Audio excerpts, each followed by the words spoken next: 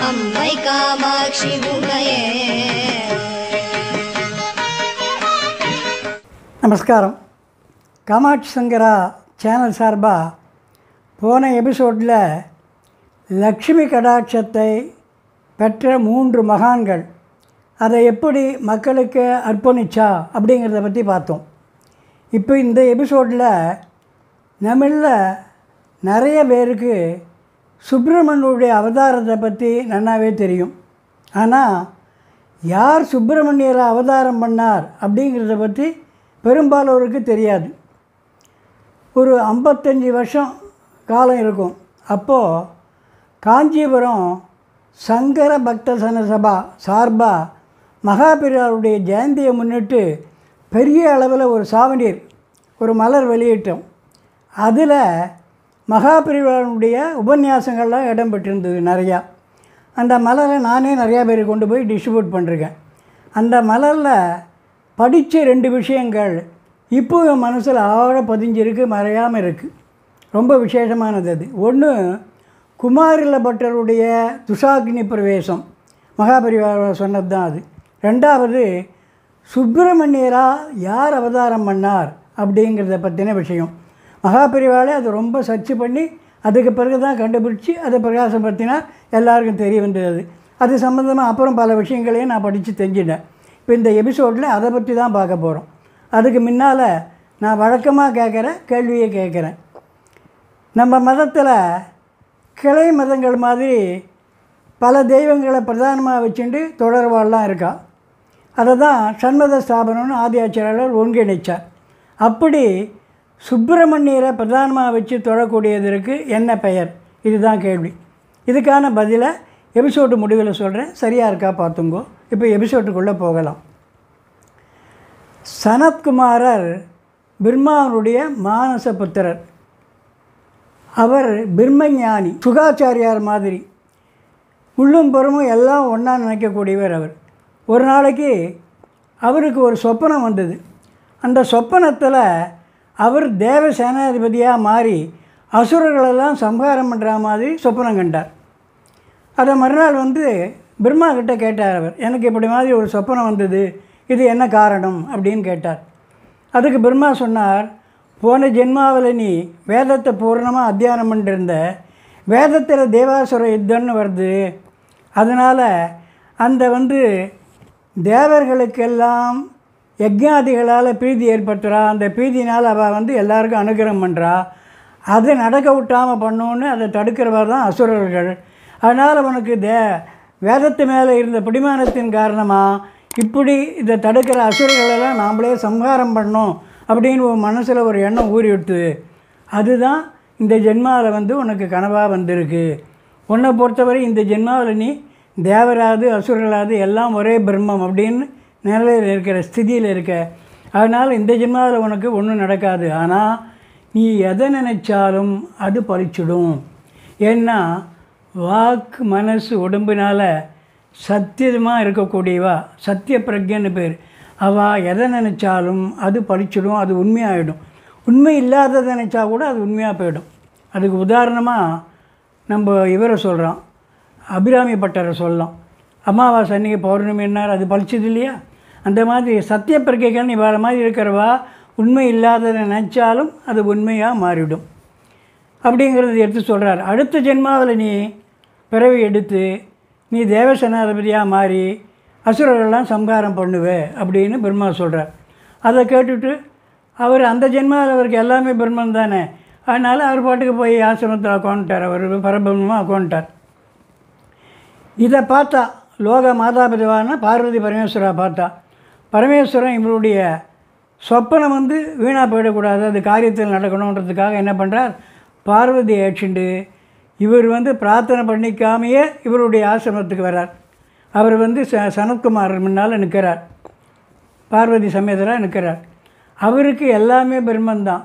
மரம் செடி கொடி புழு பூச்சி மிருகங்கள் தேவர்கள் தெய்வம் எல்லாமே ஒரே பிரம்மந்தான். அவர் அந்த மாதிரி பரபிரம்மம். அவருக்கு வந்து லட்சியமே இல்லை. முன்னால் வந்து பார்வதி பரமேஸ்வரா நிற்கிறா.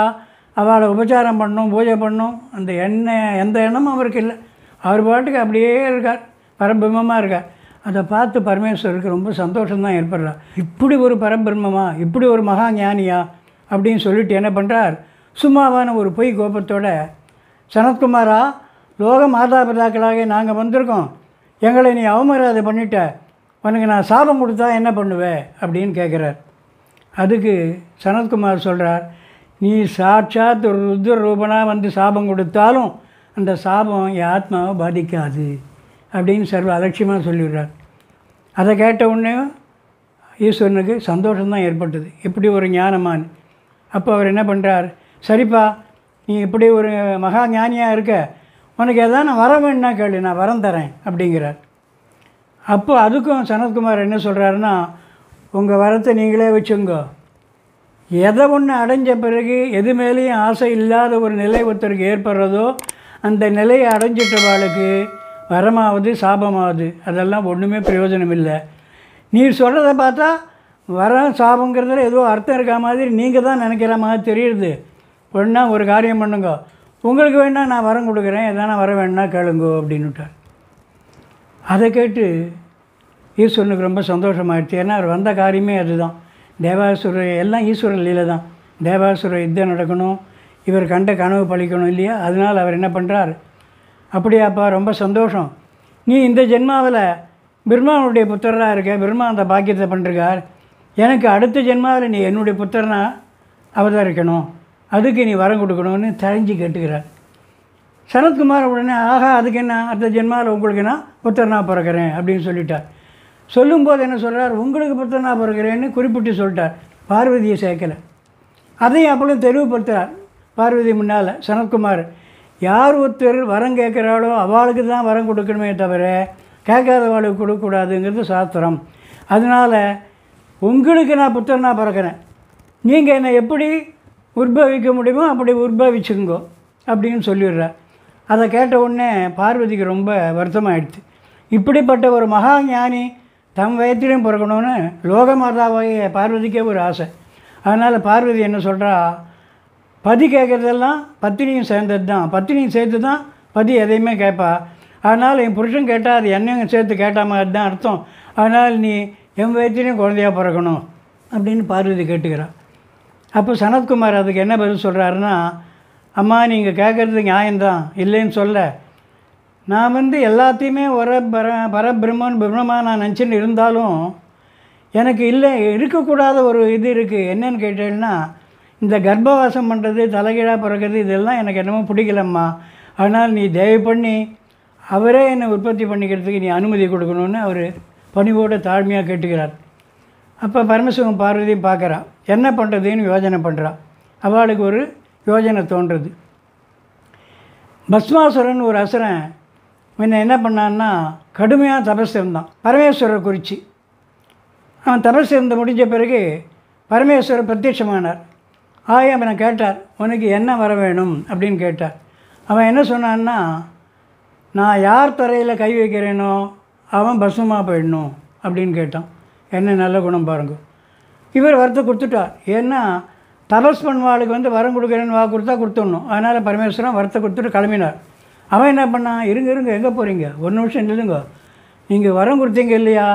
அது பலிக்கிறதா இல்லையா? பார்க்க வேண்டாமா? கொஞ்சம் தலையை குனிங்க உங்கள் தலையில் கை வச்சு பார்க்குறேன்னா. டக்குன்னு அவர் அந்த தியானம் ஆகிட்டார் மறைஞ்சிட்டார் அவர். அந்த நேரத்தில் பார்வதி தன்னுடைய சக்தியெல்லாம் ஒதுக்கி வச்சுட்டு ஒரு லீலா நிமித்தமாக ஒரு சாதாரண ஸ்திரீ மாதிரி இருந்திருந்த நேரம். அதனால் பரமசிவனை காணணுன்னே அவள் எல்லா இடத்துலையும் போய் தேடுறா. கைலாசெல்லாம் தேடுறா பரமசிவனை காணும். ரொம்ப நேரம் தேடி பார்த்துட்டு அந்த பதிவிரதா தர்மத்தின் காரணமாகவும் அவளுடைய பிரேமையின் காரணமாக அப்படியே உருகிட்டான் உருகிட்டான்னா ஜலாசயனம் அப்படியே உருகி ஒரு பொய்கையாக மாறிட்டான் அதுதான் சரவண பொய்கை. அப்படி பொய்கையாக மாறின கொஞ்ச நேரத்துக்கு பிறகு அவன் பஸ்வாசுரன் சம்பாரம் ஆகிட்டான் அதனால் பரமேஸ்வரன் வந்துட்டாருங்க கைலாசத்துக்கு. பதியை பார்த்த உடனே இவரும் தன்னுடைய திவ்ய ரூப ரூபத்தை எடுத்துட்டு பார்வதி ரூபத்தோடு வந்துடுறா. அப்படி வந்த பிறகும் பார்வதி என்ன பண்ணுறா தன்னுடைய பதிவிதா தர்மத்தையும் பிரேமியும் அடையாளமாக தான் நீ நீராக மாறினா இல்லையா? சரவண பொய்கையாக மாறினா இல்லையா? அந்த பொய்கை அப்படியே இருக்கட்டும் அப்படின்னு அனுகிரகம் பண்ணுறான் தெய்வங்கள்லாம் அவதாரம் பண்ணால் அந்த அவதாரத்தில் நடந்த நிகழ்ச்சிகளில் அநேகமாக அதை ஞாபகார்த்தமாக அப்படியே வச்சுடுவாள் ஏன்னா லோகக்ஷேமத்துக்கு மக்கள்லாம் அதை பார்த்து நன்மை அடையட்டும் மக்கள் அதனால் புண்ணியத்தை பெறட்டும் மக்களுடைய பாவங்கள்லாம் கரையட்டும். அந்த மாதிரி சரவண பொய்கையில் ஸ்நானம் பண்ணால் பாவம்லாம் போயிடும். அது என்றைக்கும் இருக்க முடியாது அனுகிரகம் பண்ணிட்டான் அதனால் இப்போ என்ன பண்ணான்னா இவரோ வந்து சனத்குமார் என்ன சொல்லிட்டாருன்னா அவர் ஈஸ்வரன் தான் தன்னை வந்து பிறப்பிச்சுக்கணும்னு சொல்லிட்டார். பார்வதிக்கு இது கூடாதுன்னு சொல்லிட்டார். பார்வதி மூலியமாக பிறக்க மாட்டேன்ட்டார். அதனால் இப்போ என்ன பண்ணாருன்னா பார்வதி பரமேஸ்வரால் சேர்ந்து பரமேஸ்வரனுடைய தன் தேஜஸ் மூலியமாக பிறப்பிச்சிட வேண்டியது. அதை கங்கை தன் கையில் தாங்கி சரவண பொய்கையில் விட்டுற வேண்டியது. சரவண பொய்கைன்றது சாட்சாத் அம்பாள் தான். ஆனால் அம்பாள் அந்த தேஜஸை சுப்பிரமணியராக உருவாக்கி கொடுத்துட வேண்டியது. அப்படின்னு இவ முடிவெடுத்தா அதைப்படியே சனத்குமாரர் வந்து ஈஸ்வரனுடைய நெத்தியில் நேத்ராகினிலேருந்து ஆறு புரியா தேஜஸை அப்படியே ஆறு புரியா வர பிறக்கிறார். அதை கங்கை கையில் வாங்கிக்கிறார். அவனால் தாங்க முடியல. ஈஸ்வரனுடைய தேஜஸ் தாங்க முடியாது. ஓடி போய் சரவண பகையில் விட்டுடுறான் சரவண பகையில் சாட்சாத் அம்பாள் இல்லையா அதை அப்படியே உருவமாக்கிடுறான் சுப்பிரமணியராக அந்த ஆறு குழந்தைகள் வருது அதை கார்த்திகா நட்சத்திரம்னு கிருத்திகை நட்சத்திரம்னு மேலே கும்பலாக இருக்கக்கூடிய அந்த கார்த்திகை பெண்கள் ஆறு பேர் வந்து வாங்கி அவரை வளர்க்குறா. அதனால தான் அவருக்கு கார்த்திகேயன் அப்படின்னு ஒரு பேர். கங்கை வாங்கினதால் காங்கேயன் ஒரு பேர். சரவண பொய்கையில் பிறந்ததுனால சரவண பவன் அப்படின்னு பேர். அந்த சரவண பவன்றது தான் ஷடாட்சரி ரொம்பவும் உத்கிருஷ்டமானது ரொம்ப விசேஷமானது. இந்த ஸ்கந்த புராணத்தை விஸ்வாமித்திரர் ராமலட்சுமணாளுக்கு சொல்லி இந்த ஸ்கந்த புராணத்தை யார் கேட்குறாளோ அவளுக்கு புண்ணியம் கிடைக்கும் தனமும் கிடைக்கும். ராமா யார் ஒருத்தன் முருக பக்தனாக இருக்கானோ சுப்பிரமணிய பக்தனாக இருக்கானோ அவனுக்கு நீர்காயுள் நீண்ட ஆயுளும் புத்திர பௌத்திராபி அபிவிருத்தியும் சகல சௌபாகியங்களும் உண்டாகும். அத்தோடு கூட அவன் ஸ்கந்த லோகத்தில் சுப்பிரமணியலோடு போய் வாசம் பண்ணுவான். அதாவது சுப்பிரமணியர் தன்னுடைய பக்தனெல்லாம் தங்கூட சேர்த்து அரவணைச்சின்னு போய் அங்கே முக்தியை கொடுத்துருவார் அப்படின்னு விஸ்வாமித்திரர் ராமருக்கு லட்சுமணருக்கு சொன்னார் மகாபிரிவா சொல்கிறா இப்போது நான் இப்போ ஆரம்பத்தில் கேட்ட கேள்விக்கான பதிலை சொல்கிறேன் சுப்பிரமணியரை பிரதானமாக வச்சு தொழக்கூடிய அந்த ஒரு மதம் மாதிரி இருந்த அவளுக்கு பேர் கௌமாரம்னு பேர். இப்போ இந்த வாரம் காஞ்சிபுரம் காமாட்சம் கோவிலில் நடக்கக்கூடிய முக்கிய சம்பவங்களை பார்ப்போம். மூணாம் தேதி திங்கக்கிழமை துர்கை புறப்பாடு. இப்போது நவராத்திரி நடக்கிறதுனால அம்பாள் தினசரி புறப்பாடாகி நவராத்திரி மண்டபம்னு இருக்குது அங்கே போய் சூரசம்ஹாரம்னுங்கிறது நடக்கும்.